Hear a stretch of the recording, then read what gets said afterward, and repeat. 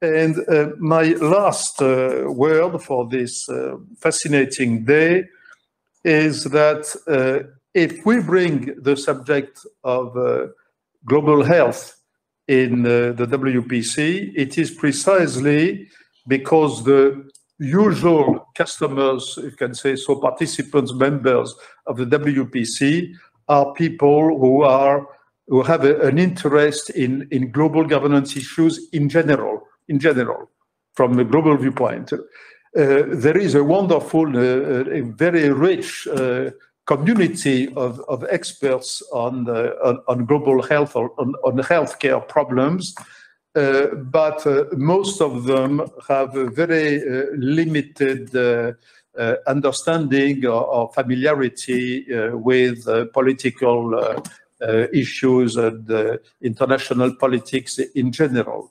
So uh, what we uh, are aiming at with the WPC Health and the WPC in general is to try to bring the two together uh, so that uh, uh, some uh, useful insights could be developed thanks to this complementarity and transdisciplinarity, if I, which is always the case with complex with complexity.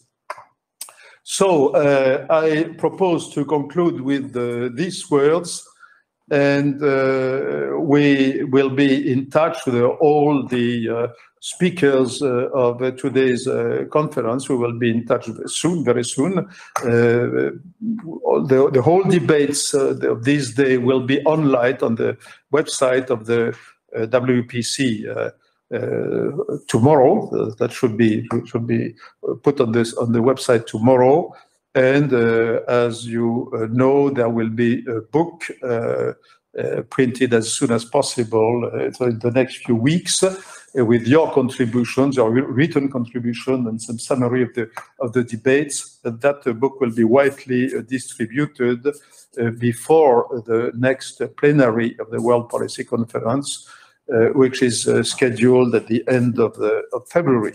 So thank you uh, very much, all the speakers, all the contributors. my personal feeling is that for this first edition of the WPC Health uh, was a success, thanks to you. And uh, there is a lot of food for uh, thought and uh, many uh, issues, I think, which have been uh, identified and that we will try to uh, uh, to deepen uh, in the, the next meeting. So thank you, everybody, and I look forward to seeing you soon.